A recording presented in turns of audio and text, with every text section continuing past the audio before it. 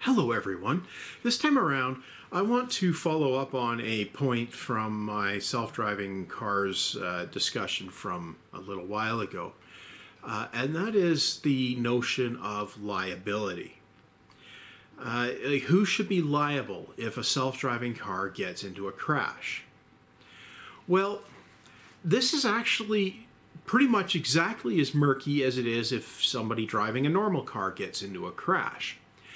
Uh, there, there are certain aspects of the uh, situation that uh, assign liability in different directions. Uh, whoever made the error behind the wheel, it obviously gain, it has some level of liability. So, if you're not paying attention or uh, you make an improper turn or something and you crash into somebody or something, you're liable for that. You're at least partly at fault, and that makes you partly liable.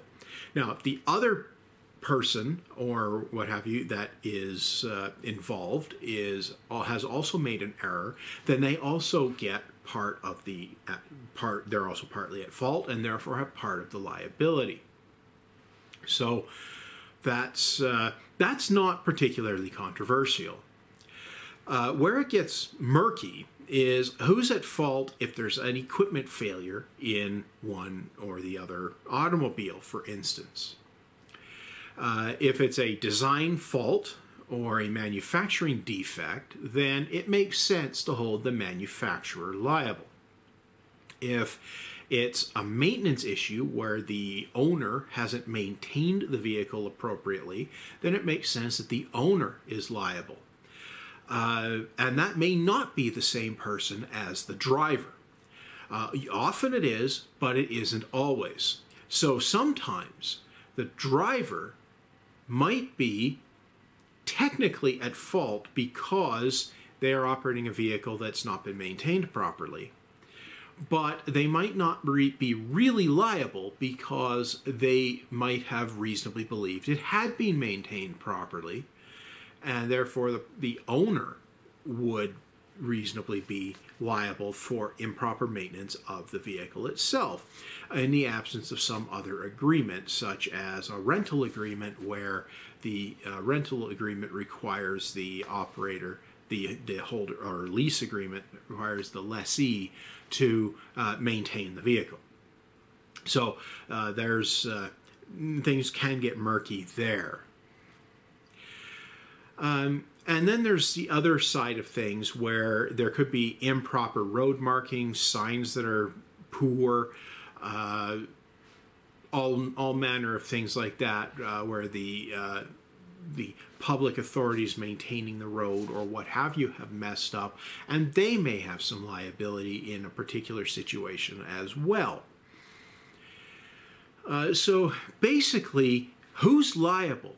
Who's at fault? Not quite the same question, but close enough that the same discussion applies. They, uh, it's a, a, difficult question in a lot of situations. In a lot of situations, it's pretty clear cut. Uh, I'm driving along, I wrap my car around a telephone pole, I'm almost certainly at fault. Uh, or I'm driving along, somebody T-bones me from the side, uh, um, and I had a, a through road and they had a stop sign odds are the person T-boning me from the side is at fault. So those situations are certainly uh, relatively easy to assign blame and figure out what's going on. And then the more complicated ones need a bunch of arguing and wrangling and confusion and lawyers and all the other things that we throw at things like that and and eventually we come up with a mutually dissatisfactory uh, arrangement or uh, somebody caves and somebody laughs all the way to the bank or something like that. Uh, so that's our legal system, and obviously we have issues there. That's not germane to the discussion, though, of who should be at fault or liable in the case of a car crash. Well, uh, basically, I've said that there are several parties that may be involved in, in, the, in the liability equation. It could be the manufacturer of the automobile. It could be the driver. It could be the owner, who is not necessarily the driver. And it could also be the whoever's supposed to be maintaining the roads. or it could be some combination of all of them, and it and that can apply on both sides if you have two automobiles involved. So the question of who's liable is not a simple one. Uh, in all but the simplest cases, it can be a, a real pain to figure out who should pay the damages. And this doesn't change when you bring a self driving car into the mix. You still have a driver, but in this case, the driver is some software that has been, and a package of sensors and so on, that has been uh, created by probably the vehicle manufacturer or, or subcontracted to a software house or something like that. So now, instead of having a meat space biological driver, you've got uh, some other thing that serves as the driver. And that thing doesn't have free will or whatever agency that we ascribe to living human beings. And it doesn't have uh, any, uh, any way to deal with liability. It, it doesn't make decisions uh, on that level. It, it, doesn't understand consequences. It doesn't have a model of the universe in its brain. It's, at least currently, it doesn't. Um, and uh, may, uh, I'll try and get back to that point at the end uh, because that would distract from the current situation. So, uh, in in the self-driving car situation, we still have the manufacturer being liable for mechanical design faults and manufacturing defects. We still have the road maintainer liable for errors with the road. And we still have the owner liable for proper maintenance of the automobile itself, the physical systems. That's brakes, oil, uh, you, you know, steering, all of those mechanical systems that do wear over time. And also for making sure that when a fault is discovered, it is fixed. Okay, so those parts of the liability equation don't change. The driver part of the equation, though, is a little murkier, but not much. Where the driver would be at fault in any other accident in a self for a self-driving car the driver would still be at fault. It's just in this case the driver isn't a person. The driver is then a collection of software and sensors that work together to control the automobile. So who is liable in that case if that screws up? Well the ma- the makers of the driver would be uh, liable because the driver itself cannot be. Uh, and that means that if the automaker has manufactured the sensors sensor package, then and that failed, then the automaker will be responsible for that if that's what caused the crash if the automaker subcontracted a, uh, a, you know the software out well the automaker would still be the person of on record making the uh, uh, the software but they would be able to pass liability through to the software house. So just like subcontracting anything else um, you don't necessarily not have liability because you subcontracted it to somebody else, but you can make that somebody else feel the pain if you feel the pain, and you should. Uh, so that's basically the situation as I see it. Uh, the bit that fails, whoever made it is going to have to be liable. And I don't think we need any substantially changed regulations to handle that side of things. We just need to make it explicit that in the absence of a biological human driver, then the the purveyors of, of the uh, software and sensors package that controls the automobile is the is where the liability rests if that if the driver screws up. Now I sh- now back to that point I said I should talk about later. If the control system the driver, happens to be sentient, self aware, and has choices in what it can do. It has it has the ability to uh, operate independently. Then maybe you can shift the liability back to the actual driver in that case.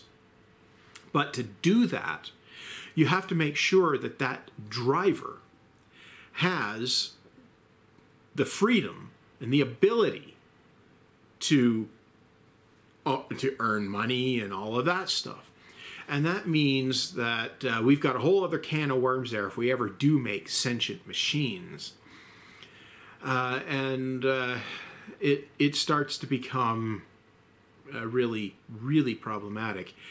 Uh, and th- that's something that we'll have to revisit when it comes when it comes about. I say when because it's almost certain it's going to happen at some point. Assuming we don't destroy ourselves first uh, in some manner. Uh, but uh, it's pretty certain that at some point something will crack the artificial intelligence thing and we'll end up with self aware machines and, and all of that. And then all bets are off. Um, but hopefully, uh, that's some time off. And as long as our autonomous cars, the, the driver in them, is not self aware, is not, you know, uh, a person, uh, and we're going to have to deal with that issue. That's a different problem altogether. But as long as the driver is not an actual sentient person,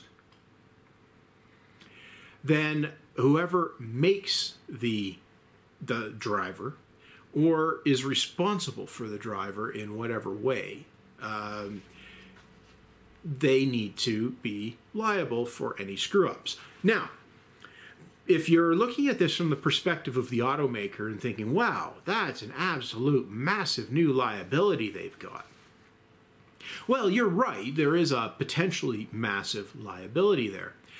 But the thing to keep in mind that is if they make their self-driving car control systems properly, which none of them have yet, but if they make them properly,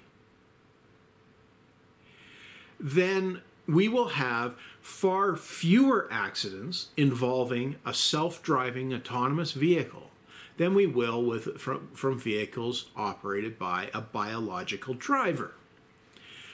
As a result, if you're comparing the number of accidents now across all cars and you're just figuring that will translate unchanged if all the cars on the road suddenly became self-driving well you're being a bit disingenuous if you're doing that uh, properly functioning self-driving cars will be safer drivers for a number of reasons they will be they will not get bored they will be looking further ahead on the road. They will be able to see things coming from the side that that we would probably miss. And they will be able to operate more appropriately according to road conditions and vehicle conditions. As a result, they will be surprised a lot less often by something happening up the road a piece. Because of that, the self driving cars should, on average, get into far fewer accidents.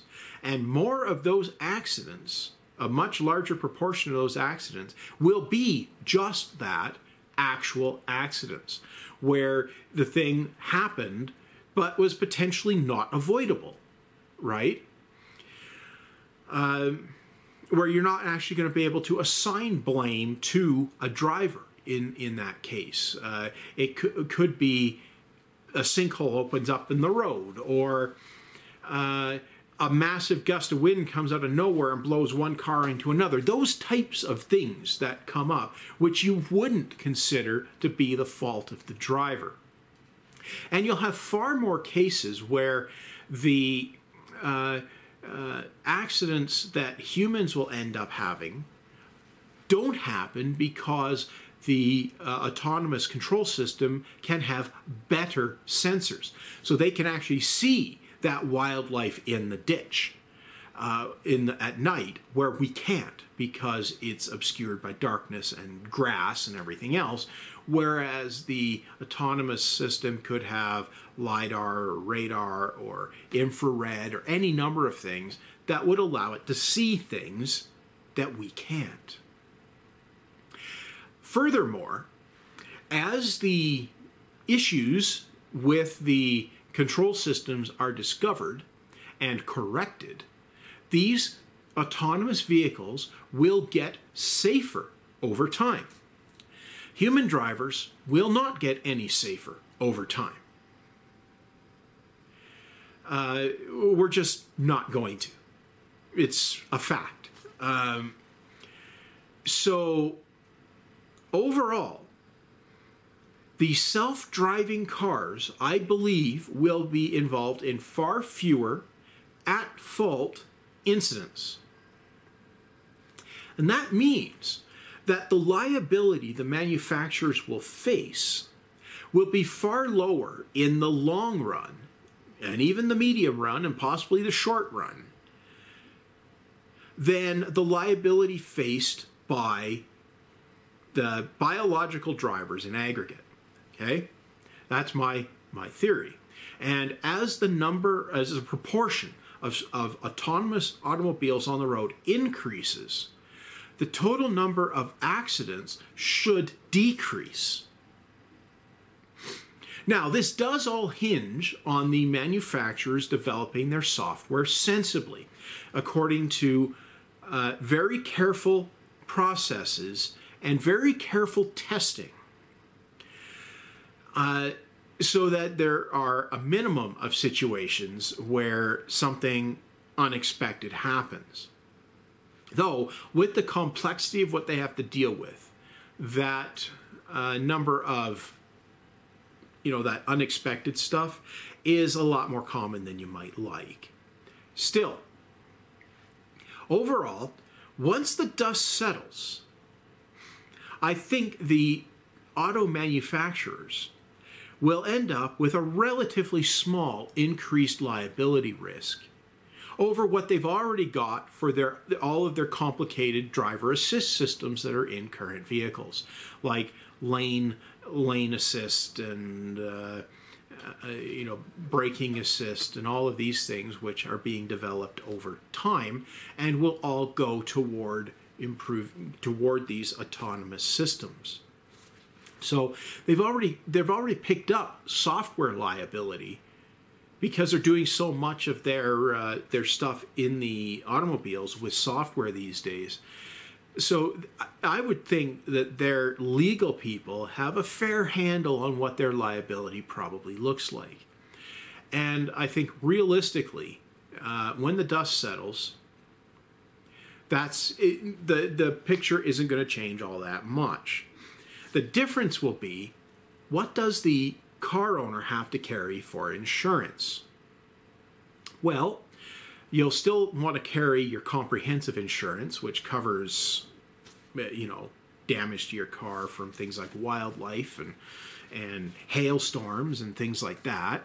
And you'll probably need to carry some sort of liability insurance um, for when you do something that uh, screws everything up if you happen to be deemed at fault. Uh, but the premiums will probably be substantially lower in the long run. In the short run, the insurance companies are going to try to gouge everybody, and the uh, the premiums will be way higher, I suspect. Um, but in jurisdictions where the insurance, the liability portion of the insurance, is attributed to the driver's license, then that will have to be borne by the manufacturer because the owner of the car is not uh, like that that part of the liability will have to be covered by the manufacturer and there and there will have to be a corresponding reduction in driver associated driver's license associated premiums, but that will happen as people drop their driver's licenses when they no longer need them. But I expect there will be a shift uh, away from uh, insuring the driver and uh, to just insuring the vehicle, like a, lo- a lot of jurisdictions already do, and insure and the uh, manufacturer ends up with liability that they have to cover uh, if they their stuff screws up. Now, I figure that's probably what will happen, and I suspect there will be uh, a lot of regulatory wrangling, and all of that will happen because it always does uh, over time, and uh, and eventually the dust will settle, and we'll have much safer transportation networks simply because humans aren't operating them for the most part. So anyway, the liability thing I think is mostly a red herring uh, I don't think the equation really changes all that much. No matter how confusing or complicated the self driving car autonomous system thing actually gets. Uh, who is liable, while the situation is a bit murky, is no more murky than it would be with a human driver. And that's really what it comes down to. I think anybody that is arguing that we can't do this self-driving car thing until we get the liability question sorted out is is either not really understanding the situation uh, well or they're building up a straw man so that they can say see autonomous cars are a bad idea. Look at all this complication. So uh, there you have it. Uh, that's my ramble on liability and self-driving cars. Uh, if you want to be notified of future videos, uh, make sure to subscribe and uh, enable the notifications with that uh, bell icon thing. And if you like the video or you didn't like it, uh, you know, give it a like or a dislike. Apparently, it helps with exposure. And if you've watched this far, thanks for watching.